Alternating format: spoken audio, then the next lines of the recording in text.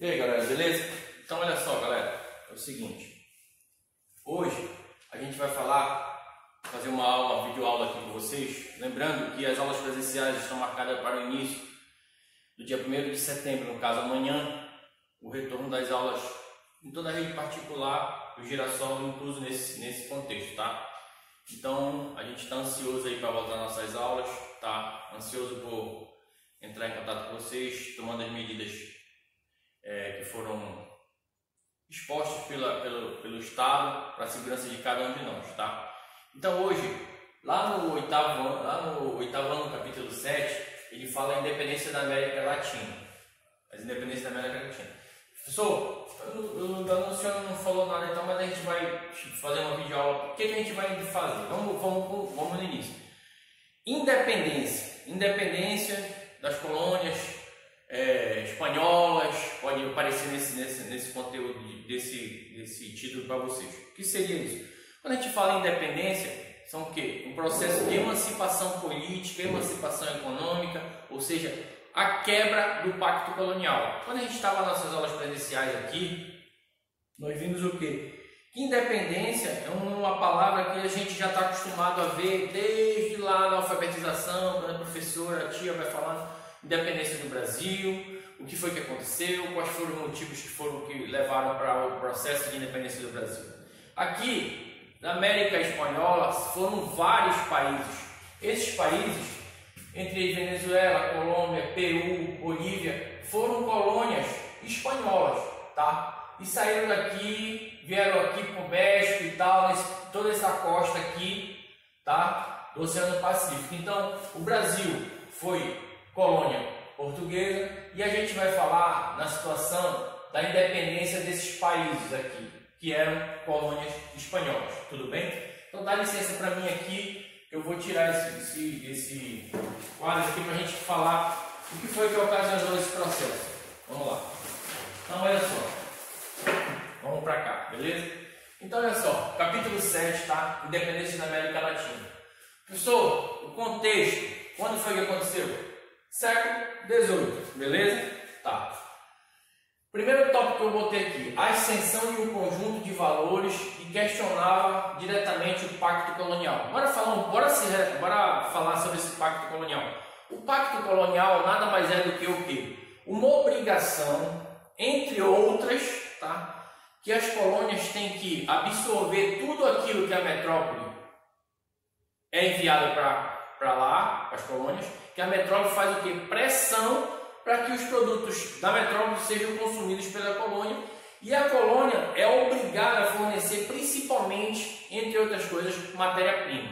Tá? Outra coisa que pressiona, que vem sendo, que vem sendo debatido por vários historiadores, vários estudiosos, que essa pressão exercida, seja economicamente, seja politicamente, ela durante um tempo foi absorvida, mas apareceu movimentos ideais que fizeram com que, que essas pessoas que estavam subjugadas, ou seja, essa grande maioria das pessoas que estavam sendo humilhadas, exploradas, dissesse assim: não, galera, já chega, bora dar um tempo, bora se libertar. Então, o processo de independência da América Latina e o processo de independência do Brasil tem alguns fatores que convergem, ou seja, não são tão diferentes, tá?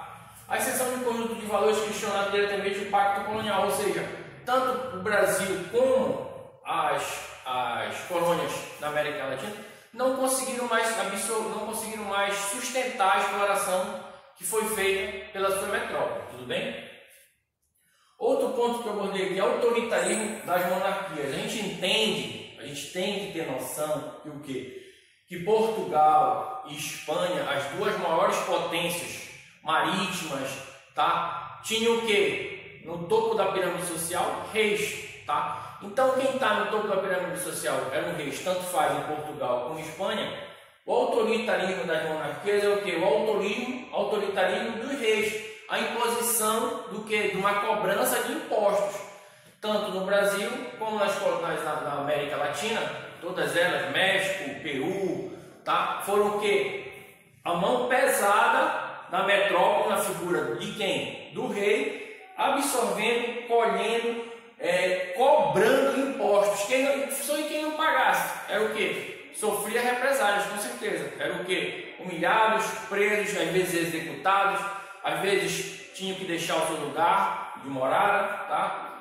Outro ponto importantíssimo aqui, as ideias do iluminismo. Professor, por que as ideias do iluminismo? Porque é o seguinte, galera. Os iluministas, eles eram que eles defendiam que você teria que usar a razão. O que é o uso da razão? É o uso do pensamento. Você não tem só que, ah, não, o senhor falou uma, uma, uma coisa aí, está tudo certo. Nesse período aqui, os ideais iluministas foram extremamente importantes, o que? Porque eles combatiam, entre outros, o autoritarismo das monarquias. Eles diziam, os grandes Robespierre, os grandes pensadores iluministas, é, diziam que todos nós teríamos o discernimento de pensar e resolver nossas próprias vidas. Ou seja, a gente não tinha que estar abaixo de ninguém, que todos nós éramos iguais e todos nós tínhamos condição, entre outras coisas, de resolver nossas situações. Tá? Outro ponto aqui que eu botei aqui, privilégio de determinadas classes sociais, os crioulos, filhos de nascidos de espanhóis. Esses crioulos aqui, o que eram os crioulos? Os crioulos foram o quê? Filhos espanhóis nascidos nas, nas colônias da América Latina, mas essas pessoas não tinham participação política, ou seja, eles já estavam homens adultos, tá? Isso durante os anos, vários anos de colonização espanhola, de sub, sub, subjugação, ou seja, exploração espanhola. Os crioulos estavam que insatisfeitos, tá legal? Essa palavra aqui, licença aqui, ó. Vocês têm que entender, ó. Essa palavra aqui, ó. Insatisfação. Insatisfação. Essa palavra aqui é extremamente importante para a gente entender. Quem está insatisfeito é que faz o que? Emancipação política. Se a gente está satisfeito, satisfação, se a gente está satisfeito, a gente não vai pegar em armas, a gente não vai fazer revoltas, a gente não vai deixar de pagar impostos, a gente não vai lutar com quem está acima de nós. Mas a palavra insatisfação é extremamente importante para te entender o processo aqui de independência na América Latina. Então, entre outros, os crioulos estavam insatisfeitos com esse processo aqui. Professor, somente é os crioulos? Não, olha só. Escravos, mestiços também estavam cansados de ser explorados, de não ter nenhuma condição, mínima condição de sobreviver. Enquanto esse aqui, enquanto os crioulos queriam a participação política,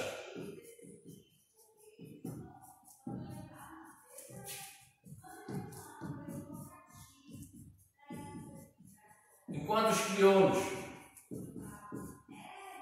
queriam a participação política, os escravos e mestiços queriam que a mínima condição de sobrevivência. E esses caras aqui, ó, escravos, tiveram uma participação também importante nesse movimento aí, porque tiveram revoltas violentíssimas. Olha aqui, ó, eu exemplo de revoltas. Em 1780 aconteceu uma no Peru e um ano depois, Granada. É, eu fiz rapidinho, olha. 80 a 81. Engraçado, né? não é engraçado também. Mas olha só, quando aconteceu essa revolta no Peru, que a galera que está insatisfeita soube o que aconteceu aqui, logo eles se rebelaram aqui, tá? Então, o que é que tu tem que saber aqui? Que a independência da América Latina estava associada a vários fatores, entre outros, participação política, tá? As ideias iluministas ideais do iluminismo, ou seja, a busca da razão, começaram as elites. Professor, mas me diz uma coisa: os crioulos, os escravos e os mestiços tiveram contato com livros iluministas? Muito raramente. Essa maior, a maioria da população aqui era analfabeta. A grande maioria, mas tinha uma minoria que era letrada. Essa minoria aqui que entrou em contato com os ideais iluministas e fizeram com que, com que outros se revoltassem. Tá legal? Beleza? Então olha só, tem que entender o seguinte: Professor, aquele contexto base, aquela, aquela âncora para a gente matar, para a gente ter um norte para a gente responder questões sobre a independência da América Latina. Uma, insatisfação. Outra, ideais iluministas. Outra, insatisfação com o que? Autoritarismo das monarquias. Outra, revolta de escravos. Outra, participação através da busca da representação política dos crioulos. Rapidinho, cinco aí, não foi? Cinco. Então, olha só, eu vou postar essa videoaula lá. A gente amanhã, se Deus quiser, já vê, já se encontra aqui para a gente fixar essas ideias presencialmente que é muito mais legal, tá? Não, não desprezando as videoaulas, as videoaulas é uma ferramenta importantíssima, seja agora ou futuramente, tá? Mas é isso aí, um abração para vocês e até a próxima. Falou? Fui!